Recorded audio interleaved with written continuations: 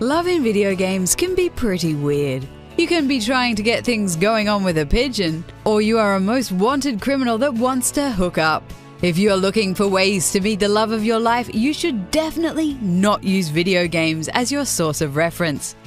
Even though games are looking more and more realistic, actual relationships in video games are anything but that. Here are 10 games that represent love in a very weird way. Even though Sims 4 is called a social simulator, it's still very weird. The social interactions are pretty ridiculous. Of course, there are different ways to seduce that sexy neighbor, but generally you just call them over and drop a joke every one or two interactions.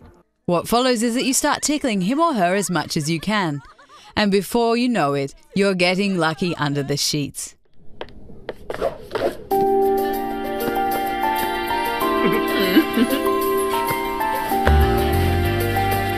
Has any of this stuff ever worked for you guys in real life?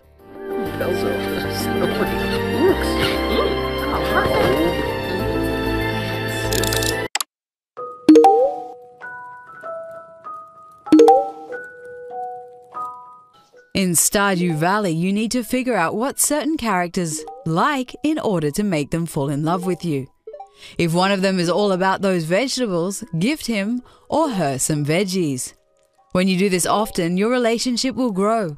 Appreciation will become friendship, and friendship will become love.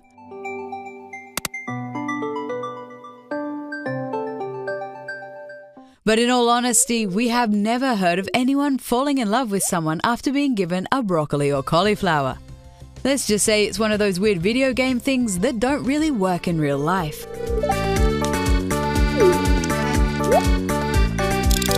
Okay, just getting set up here to stream some Hatoful Boyfriend, a game where you find love at a school for birds. Man, I can't believe this game exists. Over the past months, we've seen an increase in visual novels. Hatoful Boyfriend really stands out as one of the more unique ones. Not because of its design, but mostly because the game makes you date pigeons. Every character in this game is a pigeon except the protagonist.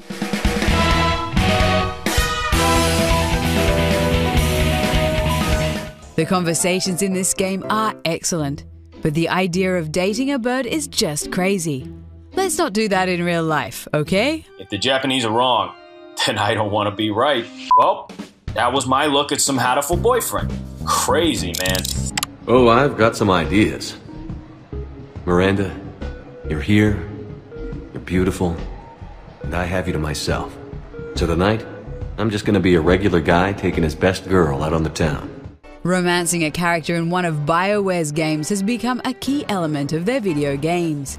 It's one of the things Mass Effect and Dragon Age have been praised for so often. But in the end, it's all about giving the right answers at the right time. And sure, if we want to play our cards right, this might work in real life too. But it's not a great way to start a relationship. Neither would I.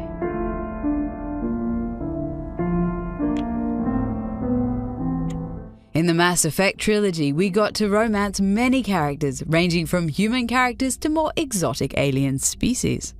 Mass Effect is pretty liberal when it comes to love. Oh, Oh, we were just, uh. I, I, well, I, I just, uh, I came to say goodbye, and, well, I still love you. Do you really mean that? We're in this world for the long haul. Together. Just like the Mass Effect series, the Fallout series is also full of romance. However, Fallout's way of showing love is a bit black and white. Good characters fall in love with you for doing nice things, while the bad characters love it when you're being evil. For example, in Fallout 4, you can court a female cage fighter. For every raider you kill, she will love you more.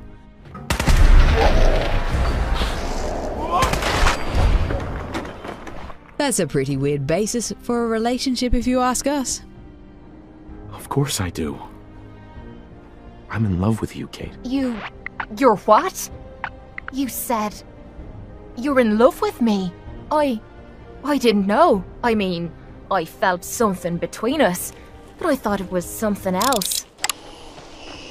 Darling, I've been waiting for you to return. To consummate our love. Skyrim is one of the most praised games of recent years. This open world role playing game has an insane amount of features, including marriage. In true role playing fashion, you can increase your standing with some of the other characters by doing quests. If you find the Amulet of Mara, a new dialogue tree will be opened. This will unlock the potential to get married. Just equip the amulet, and when you have a suitor that's interested, you can agree to get married. Who would have thought I would be getting married? Can you imagine if getting married in real life was that easy? I declare this couple to be wed. I present the two of you with these matching rings, blessed by Mara's divine grace.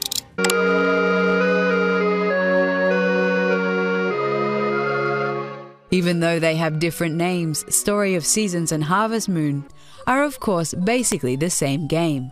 In these farming simulation games, you need to build your farm and help the town. In the process, you will meet other characters. These characters will find you charming when you give them an egg every day. If you keep doing this on a daily basis, it will eventually turn into love.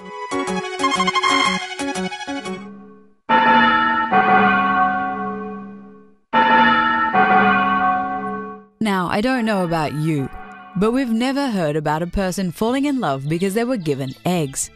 It might be worth a try, but more likely, it will only make you look like the town freak. Shall we sit here? Okay, why not? Out of all the games in this video, for some weird reason, Tomodachi Life is actually able to portray love a little bit more realistically. After dating, you can become sweethearts. At this point, Ami can confess his love at a romantic location. This step can be followed by a marriage proposal. I want to propose to Elvin. Do you think I should? Would you marry me? I'd love to. And when gamers decide not to invest time in a relationship, it obviously can end too. But everything in Tomodachi Life feels so much like an IKEA building game. It still feels off. For example, getting babies is only possible once the Miis are married and same sex relationships are not an option. It's close, but Tomodachi Life is not real life.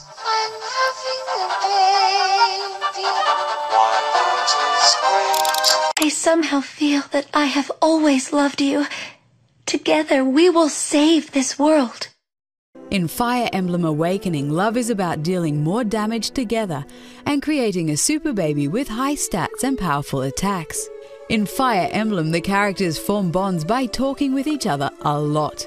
Eventually, this can lead to marriage. I promise to be a great wife. I love you more than anything ever. Never leave me. But in the end, you're doing this all for the efficiency of your team. Maybe, in some primordial way, that's exactly what love's about. But it's not what we want it to be about. Let's all learn from this and don't date people to create super babies, shall we? And if you do, don't talk about this kind of stuff on the first date. It's kind of weird.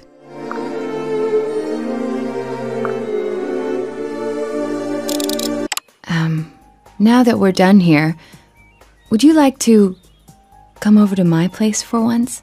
I actually bought a kotatsu. It's, uh, nice and warm. We haven't played Persona 5 yet, so let's talk about the amazing Persona 4. This RPG is basically a mix between a dungeon crawler and a social sim.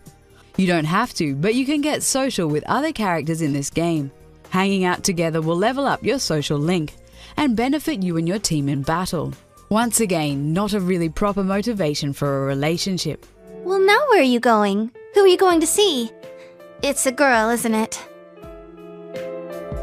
It's possible to date multiple girls at the same time, but this will come back to bite you when Valentine's Day or Christmas comes around. That's actually a good point. Stick to one relationship if you want to stay out of trouble. You're too straightforward. I, I hate you, stupid. That's why you're so popular. What the hell, man? What kind of crazy voodoo are you doing to be such a chick magnet? How can one guy be so popular with the ladies? Do you agree that video game love is still represented in weird ways?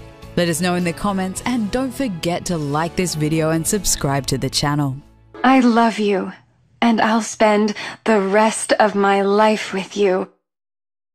Even if your proposal was pretty weak.